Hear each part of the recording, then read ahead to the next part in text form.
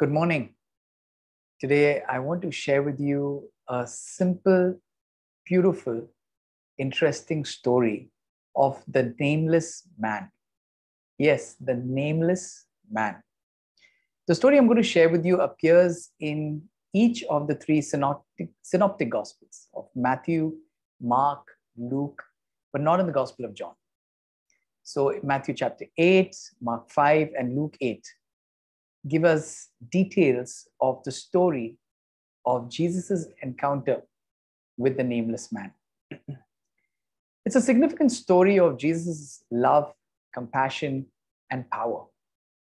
Significant because looking at the background of the story, Jesus, in spite of being so tired from his ministry, shuts down a storm, crosses the sea with his disciples to reach this one nameless man to bring his love and salvation to him. Just a little while before he reaches this man, Jesus was with thousands, teaching them, doing miracles, healing the sick, ministering to these precious thousands of people. But just a few hours later, he's on a mission to reach out to a man who was considered and treated as an outcast in his region. And interestingly, it was not even uh, within uh, the Jewish area of that time. He actually moved out of the Jewish, uh, the area that was predominantly Jewish, and he moves into Gentile territory, which was all under Roman occupation. And the Lord came for him. Jesus was going to love, deliver, and save that man, and consequently confront and evict the demonic powers that ruled that region. By now, some of you may have already guessed who I'm talking about. What is the story that I'm referring to? So let's read the story in one go from the Gospel of Mark, chapter 5, verse 1 to verse 20. I will read the entire story. And then, like I like to do, we will glean from it, summarize, and then look for what we believe the Lord is trying to tell us this morning from this beautiful story of Jesus' love, compassion, and power for the nameless man. Mark 5, from verse 1. They came to the other side of the sea into the region of the Gerasenes. When he got out of the boat, immediately a man from the tombs with an unclean spirit met him. He lived among the tombs, and no one was able to bind him anymore, not even with a chain. Because he had often been bound with shackles and chains, and the chains had been torn apart by him and the shackles broken in pieces. And no one was strong enough to subdue him. Constantly, night and day, he was screaming among the tombs and in the mountains and cutting himself with the stones. Seeing Jesus from a distance, he ran up and bowed down before him. And shouting with a loud voice, he said, what business do you have with me, Jesus, Son of the Most High God? I implore you by God, do not torment me. For he had already been saying to him, Come out of the man, you unclean spirit. And he was asking him, What is your name? And he said to him, That is Jesus, My name is Legion, for we are many. And he begged him earnestly not to send them out of the region. Now there was a large herd of pigs feeding nearby on the mountain.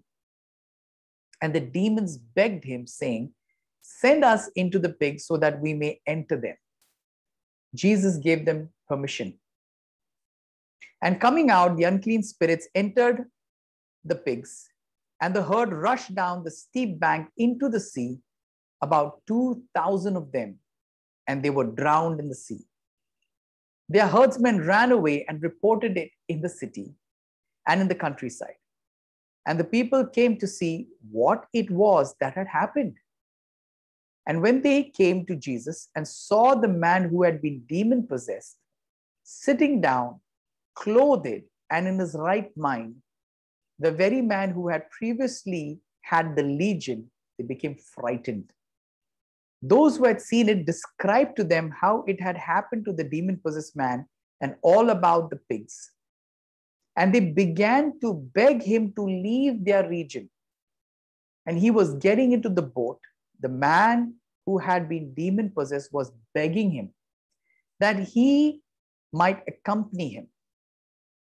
And he did not let him, but he said to him, Go home to your people and report to them what great things the Lord has done for you and how he had mercy on you.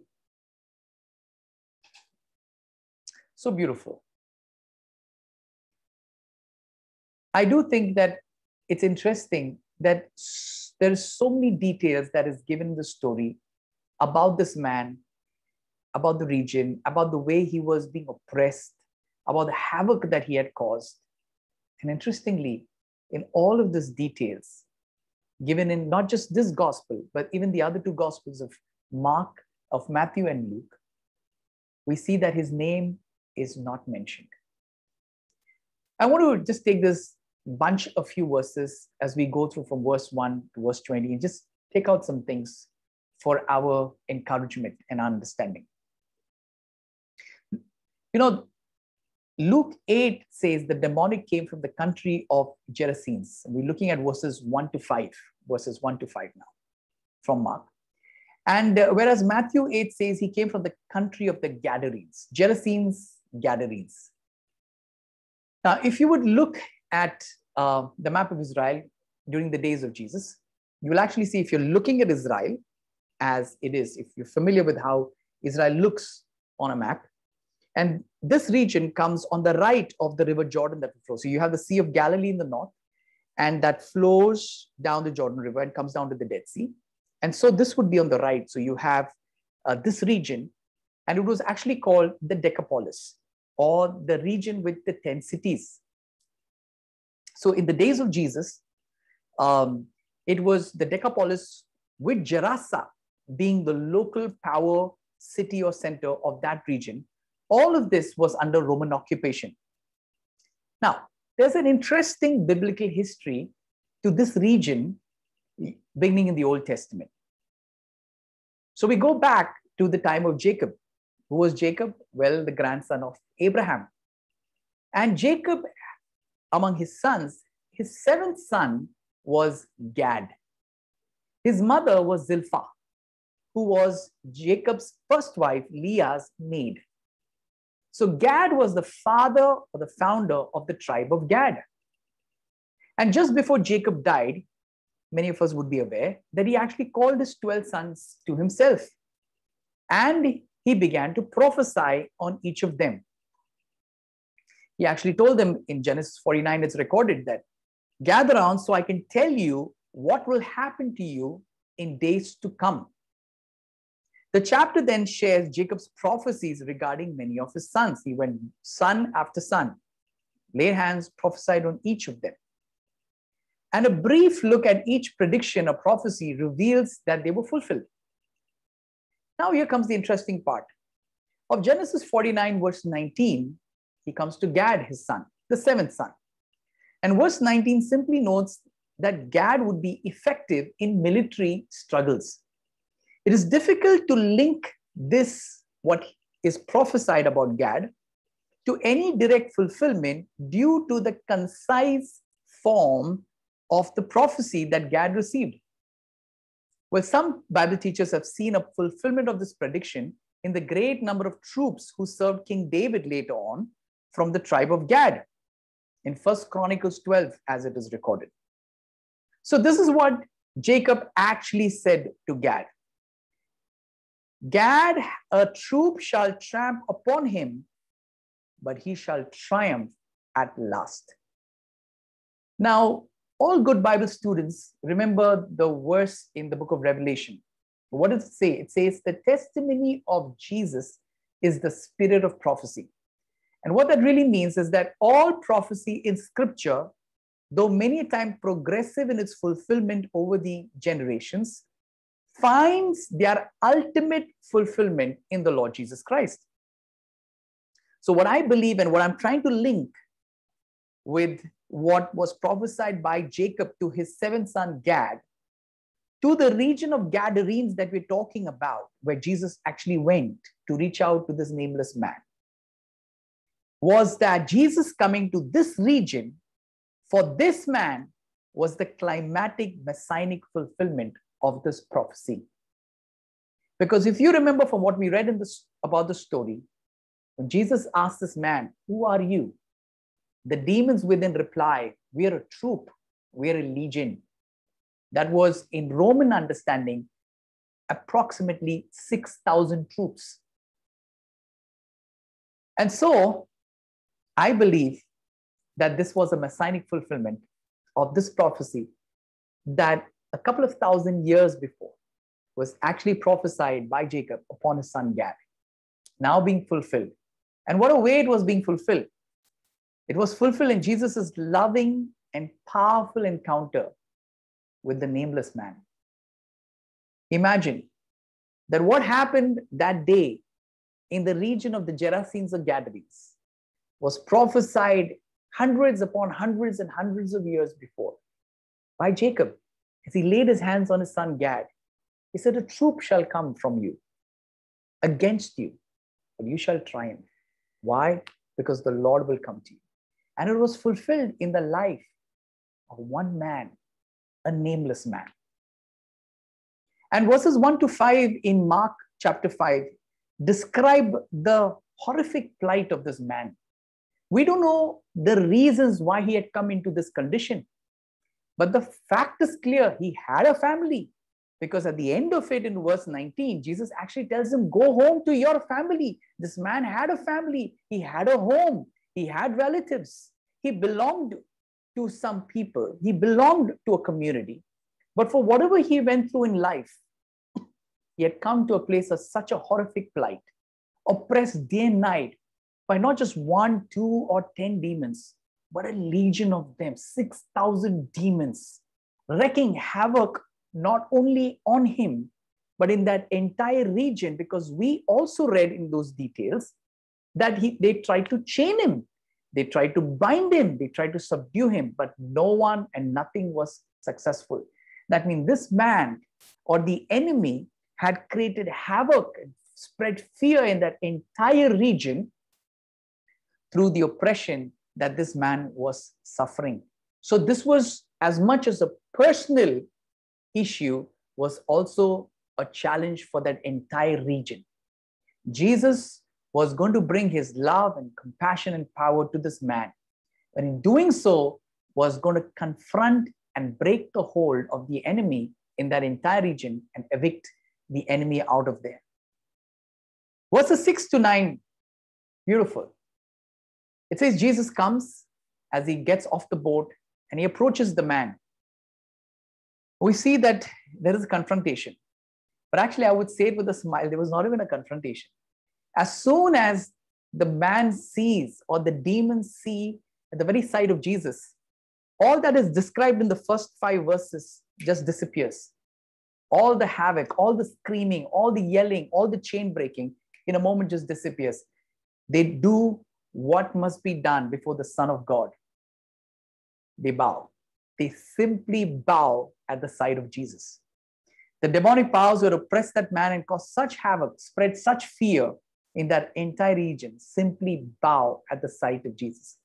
And beloved, that what must happen today in us and through us. Where we go, we should not be fearing the enemy or the works of the enemy we should be able to see the kingdom of God ushered in in love and compassion and in power, the power of God, the power of the Holy Spirit. Verses, as we move ahead, verses 10 to 14, we understand that as this man is about to be delivered, and there is a conversation, a very basic conversation that happens between the demons and Jesus. There is a mention by the demons of a, of a herd of pigs Now, that clearly helps us see that this was a Gentile region, though historically, this was all part of the land that God had promised the people of Israel. And that's precisely why we're referring to the prophecy that Gad received, that this region would belong to him. But in the time of Jesus over there, during the days of uh, the gospel, this had become a Gentile region. You would not find any Jews uh, taking care or you know having a herd of pigs because they were clearly considered as an unclean animal uh, by the Jewish people according to the Old Testament law. So this was a completely Gentile region under Roman occupation. And that's something to be kept in mind that Jesus is clearly making a communication over here. I've not just come for the lost sheep of Israel, I've come even for the Gentiles, I've come for the whole world. And so from verses 15 to 17, we see that this nameless, precious man is delivered. You know, there's one detail that Luke's gospel has that the other gospel writers, Mark and uh, Matthew and Mark, uh, don't refer to, and that is the nakedness of the demonic person, of the, of the nameless man. He was naked. And uh, obviously, in that horrific condition of his, he was obviously not aware of the condition that he was without clothes. And in Luke 8:27, Luke writes or notes that he wore no clothes, but in verse 35, after Jesus delivers him and sets him free, he is clothed and in his own mind. And we see that this detail helps us understand his transformation, his transformation and his restoration as a human being. Initially, the possessed man had been expelled as such from the human community. And in, in other words, that he was no better off than those pigs without clothing, like an animal. But after his freedom, his full value as a child of God is restored. And he is now prepared to be restored back into community, clothed and in his right mind. Beloved, that must help us understand that the work of the gospel, that the work of salvation is spirit, soul, mind, and body. We must take care of the entire being and needs when we talk of salvation. Salvation is not merely only seeing a person saved from their sins.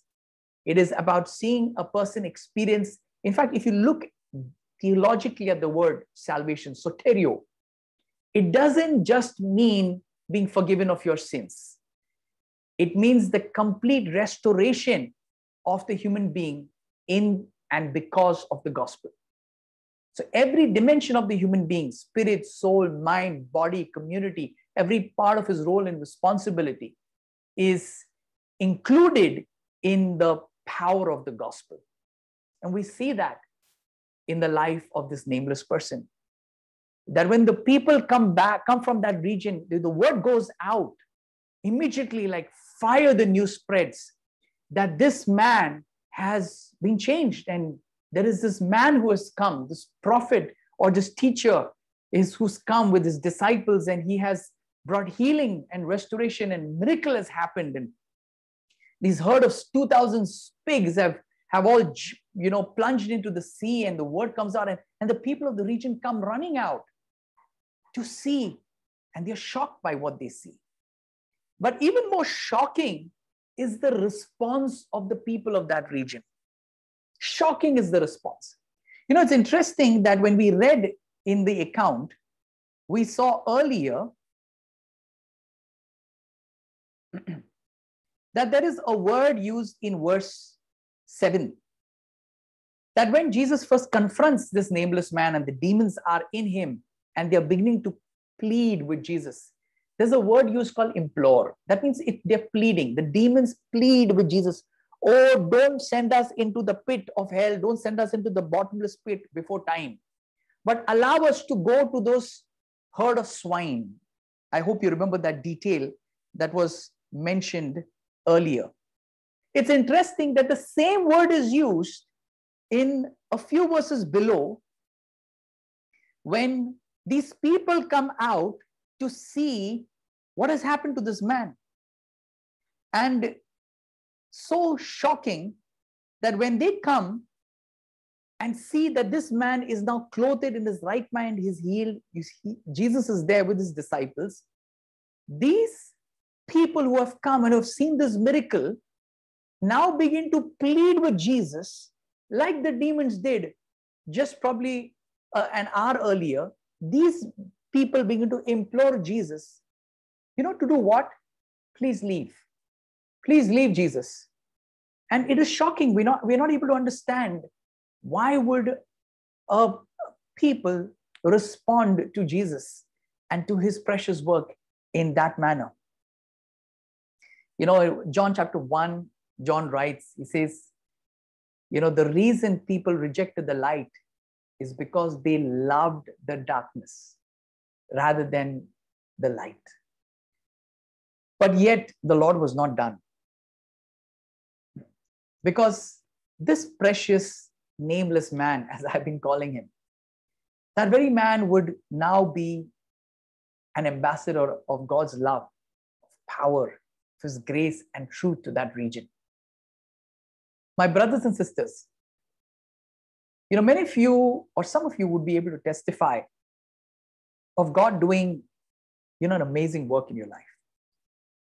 You know, I, I have my own precious story of how the Lord saved me.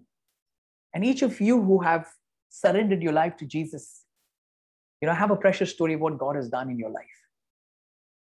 I want to say this to you and remind you that the very demonic powers that oppressed you now fear you because they know who you belong to. They don't fear you and me because of you and me. They fear you and me because of who the Lord is and what He has done in our life. And because of what He has done, we belong to Him. They fear that. They recognize who we belong to. And we become the Lord's witness to the very people who rejected us as outcasts. Brothers and sisters, we cannot win a city unless we don't win a town within the city. We cannot win a town if we have not yet won a street or a lane. And you cannot win a street or a lane if you do not win them soul by soul.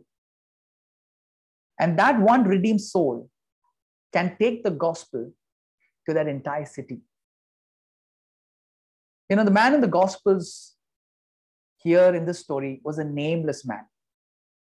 And I find that interesting because in other accounts about other miracles, we see that, you know, the gospel writers specifically, you know, give the name of the person, Jairus' daughter, Tabitha, you know, or Mary Magdalene. When we see there are places clearly where, you know, the name is mentioned. But when we look at this story, which all the three gospel writers out of the four, you know, write about this entire account, there's so many details that are given. Could they not have found out, obviously, who is this man? They could have. I believe, it, obviously, that by the inspiration and the direction, the command of the Holy Spirit, the name has not been given. Such a dramatic, such a significant story, such a striking story, beautiful story. Yet, for us, 2000 years later, he's still the nameless man. What was important for that man was that Jesus knew him and that Jesus came for him. That Jesus, though he was so tired from his ministry, and we see that account in when you read the Gospels, just, just a chapter before that, like for example in Mark 4 or, or Matthew 7, when you read the accounts, Jesus was actually, you know, teaching for days to crowds and Jesus being so exhausted, we know that he undertook that boat journey. You remember the first boat journey where he goes, he gets into the boat and he, Jesus falls out to sleep. And the gospel writers actually write that Jesus was tired. But Jesus, you know, though being tired, gets into the boat, calms the storm that came up, and he's out there with a mission to reach out to this man. What was important for that man, this nameless man, was that Jesus knew his name and that he came just for him. What was of further importance was not that people then or now would know his name, but rather that people would know the name of Jesus through him and his story. This healed man took the message of hope and healing to that entire Gentile region of the Decapolis. You know, in verse 19, we see that, you know, he began to plead with Jesus Lord, I want to come with you. You know, these people rejected me, Lord. You know, they couldn't help me. And I'm, I was, I've, been considered as an outcast over you. Let me follow you, Lord. I want to come with you. And Jesus actually tells him in verse 19 of Mark 5, and he did not let him.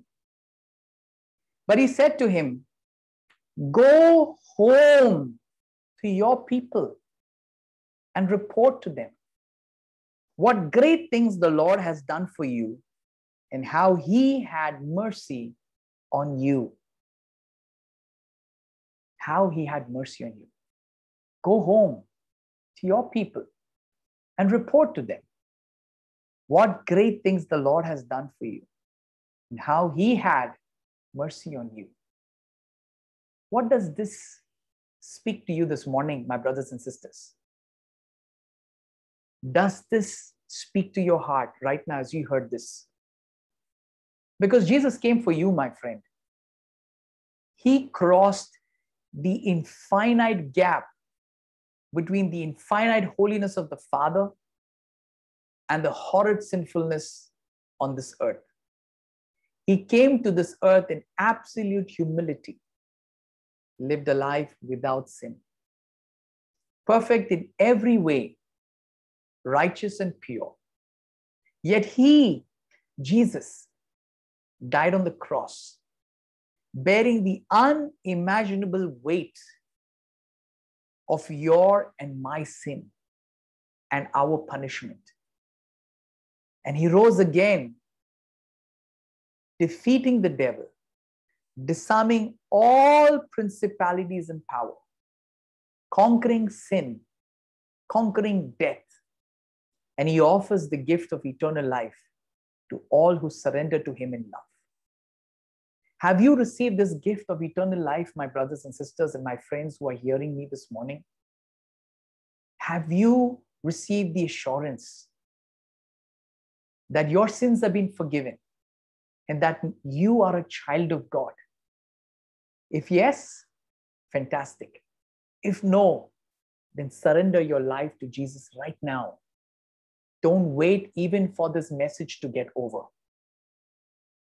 And as I close, I ask each one of you to think upon the words of Jesus to the nameless man.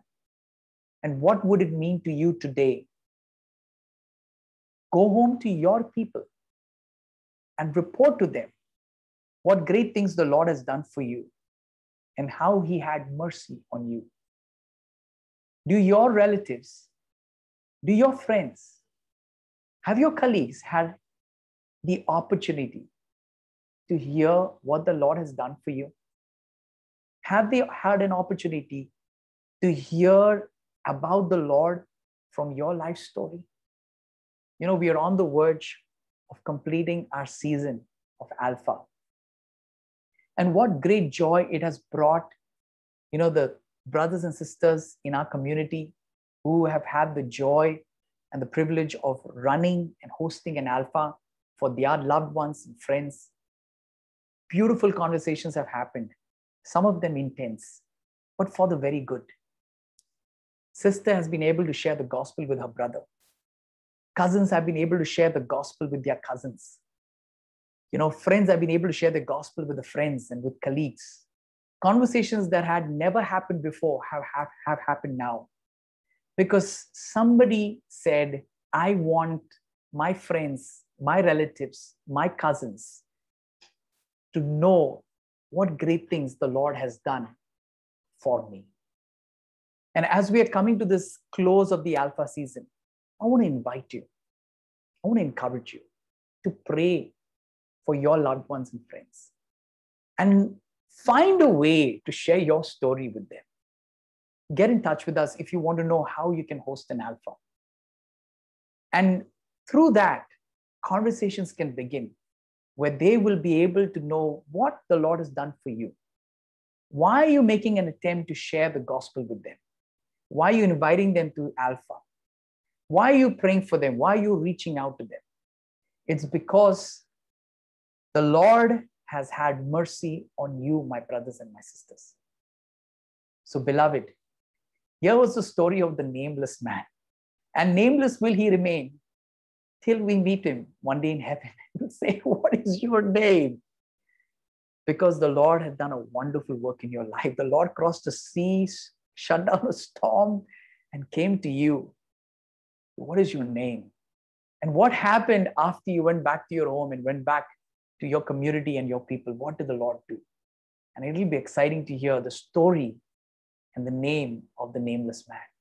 But till then, let the people around us know the name that is higher than every other name, the name of Jesus. Go home, tell your people what great things the Lord has done for you and how he has had mercy on you. God bless you.